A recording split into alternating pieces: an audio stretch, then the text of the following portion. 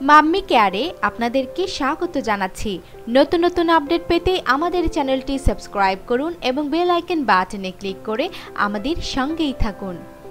গর্ভাবস্থা সংক্রান্ত নতুন নতুন আপডেট পেতে আমাদের ফেসবুকের পেজটি লাইক দিন। ফেসবুকের লিঙ্কটি ডেসক্রিপশন বক্সে দেয়া আছে। গর্ভধারণ খুবই অসাধারণ একটি প্রক্রিয়া। এই প্রক্রিয়াটি শুরু হয় শুক্রাণু ও ডিম্বাণুর অংশগ্রহণের মধ্য দিয়ে। মাইক্রোস্কোপে চিহ্নিত অতি ক্ষুদ্র শুক্রাণু আসে পুরুষের টেস্টিকল বা অন্ডকোষ থেকে। এটি সহবাসের সময় পুরুষের অন্ডকোষ থেকে সিমেনের মাধ্যমে নারীদেহের জরায়ুতে প্রবেশ করে। অপরদিকে, নারীদেহের জরায়ুতে থাকা ডিম্বাশয়ে ডিম্বাণু অবস্থান করে। যে হরমোনগুলি প্রতি মাসে মেয়েদের মাসিক সাইকেল নিয়ন্ত্রণ করে, সে হরমোনগুলি মূলত ডিম্বাশয় থেকে একটি পরিপক্ক ডিম নিঃসৃত করে। এই হরমোনগুলি আবার জরায়ুর দেয়াল সফট এবং স্পঞ্জি করে, যাতে সহজেই গর্ভধারণ ঘটতে পারে। প্রতি মাসে আপনার ওভারি অসংখ্য ডিমের মধ্য থেকে একটি পরিপক্ক ডিম নিঃসরণ করে। এই ডিমটি বারো থেকে চব্বিশ ঘণ্টা পর্যন্ত নারীদেহের জরায়ুতে জীবিত থাকে।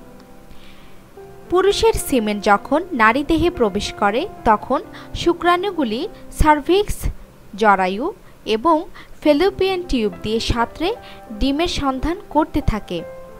শুক্রাণু নারীদেহে ছয় দিন পর্যন্ত বেঁচে থাকে এবং ডিমের জন্য অপেক্ষা করে। এত লক্ষ লক্ষ শুক্রাণুর মধ্য থেকে কেবলমাত্র একটি শুক্রাণু দ্বারাই ডিমটি নিষিক্ত হয়।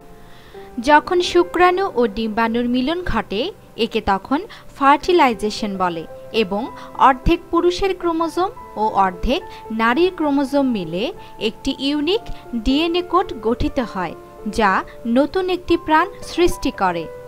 একে তখন জাইগোট বলে।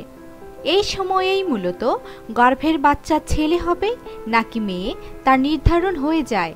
এরপর জায়গোট বিভক্ত হয়ে বহুকোষে পরিণত হয় এবং ফেলোপিয়ান নালি দিয়ে গিয়ে জরায়ুতে পৌঁছে। একে তখন ব্লাস্টোসিস্ট বলে। এটি ফেলোপিয়ান নালি দিয়ে গিয়ে জরায়ুতে অবস্থান করে। এই প্রক্রিয়াটি সম্পন্ন হতে প্রায় তিন থেকে চার দিনের মতো সময় লেগে থাকে।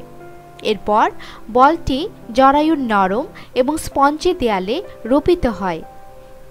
এটি সম্পন্ন হতে আরও কয়েকদিন সময় লেগে যায়। বলটি রোপণের মধ্য দিয়ে প্রেগনেন্সি অফিসিয়ালি শুরু হয়। রোপণের ফলে অনেক মহিলাদেরই হালকা রক্তপাত হতে পারে, একে ইমপ্ল্যান্টেশন ব্লিডিং বলে। এটি সম্পন্ন করতে প্রায় তিন থেকে চার দিনের মতো সময় লেগে যায়। এ পর্যায়ে শুক্রাণুর সাথে ডিম্বাণুর মিলন যদি না ঘটে বা নিষিক্ত না হয়, সেক্ষেত্রে মাসিক হয়ে যায়। যখন নিষিক্ত ডিমটি জরায়ুর দেয়ালে রোপিত হয়, তখন নারীদের মস্তিষ্ক থেকে এক ধরনের প্রেগনেন্সি হরমোন এই সিজি নিঃসৃত হয়।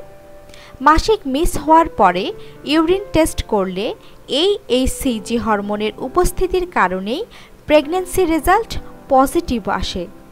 জরায়ুতে নিষিক্ত ডিম একবার রূপিত হলেই এখানেই ভ্রূণ থেকে বাচ্চায় রূপান্তরিত হয় এবং জন্মের আগ পর্যন্ত বাচ্চাটি বেড়ে উঠতে থাকে। অর্থাৎ আপনার জরায়ুই হয়ে ওঠে আপনার ছোট্ট সোনাটির নয় মাসের স্থায়ী আবাসস্থল। ভালো থাকুক, সুস্থ থাকুক প্রতিটি মা, এই কামনায় আজকের মতো এখানেই শেষ করছি। ভালো লাগলে লাইক কমেন্ট এবং শেয়ার করতে ভুলবেন না। ধন্যবাদ সবাইকে।